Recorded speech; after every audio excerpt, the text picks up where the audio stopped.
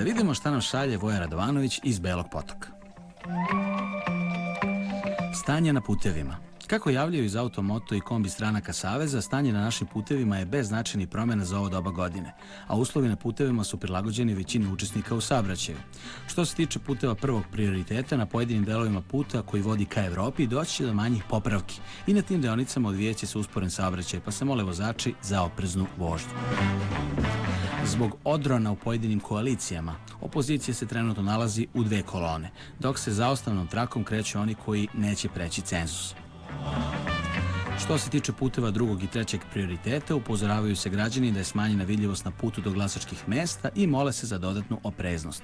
Pa iako je ovaj put poplačan dobrim namjerama, savjetuje se građanima da zbog pojedinih prodavaca magle na ovom putu otvore četvore oči kako ne bi završili u Ćorsokoku.